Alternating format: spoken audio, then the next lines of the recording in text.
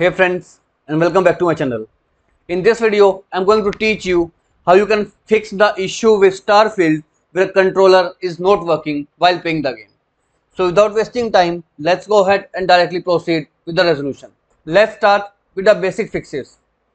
Open up your Steam client and from here right click on your Starfield game and choose the option properties. Here click on the controller tab and next to override from the drop down list choose the option enable steam input. Once it is done close it. Now click on the steam menu and click on the option settings. Here click on the option controller. And whichever controller you are using only toggle on that particular option. For example if i am using xbox controller i'll only turn on this particular feature. Remaining will be turned off as it is shown right over here. Close it. Now nextly is click on the view tab and from here check mark this particular option big picture mode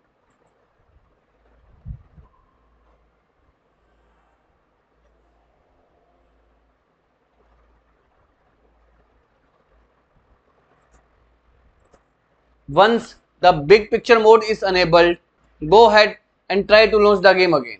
And if the controller is still not working in starfield in next step go ahead and clear the cache. In order to do so click on this menu option and click on the power and click on the option exit big picture mode. Now to clear the cache, click on this Steam option available over here and choose the option settings. From this left pane, click on the option download, scroll down and you will find the option of clear download cache. Click on it. Hit the confirm button. It will restart your Steam. Once restarted, go ahead, log in it again and this will fix out the issue of Starfield controller not working. If this also failed to work out, let's proceed with the next step. If you have plugged in any external device to your system, such as any kind of racing wheel or more than one controller, suppose you are using Xbox and PS5 controller both. So make sure you unplug all the external devices except the controller you are going to play Starfield with. Sometimes this simple fix will help you fix out the issue of controller not working in Starfield. And if you are using Xbox controller, make sure to install the Xbox accessory application. To install, open up Windows Store. In the settings, type in Xbox accessories and hit the enter key. Now at this point of time, unplug your Xbox controller.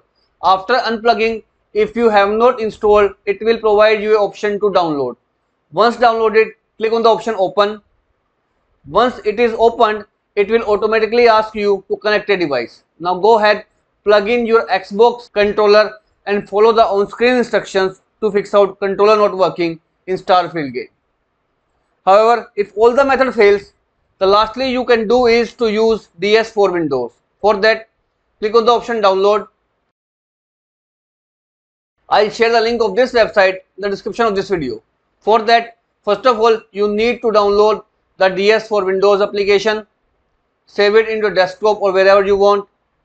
And in order to run this program you need to install another program by clicking on this option install the required drivers.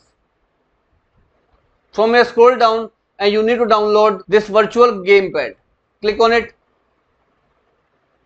Again click on this download option. Save it into desktop.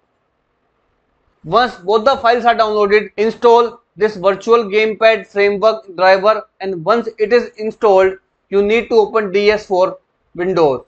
It is a zip file. Simply unzip it and run ds4 windows. This will go ahead and help you configure your controller which in turn fix out the issue of controller not working in starfield game. So as of now this is all about it friends. If this video works out for you i request you to please click on the subscribe button and turn on the bell notification icon to continue receiving updates from my channel. Thank you so much friends. Thank you for watching.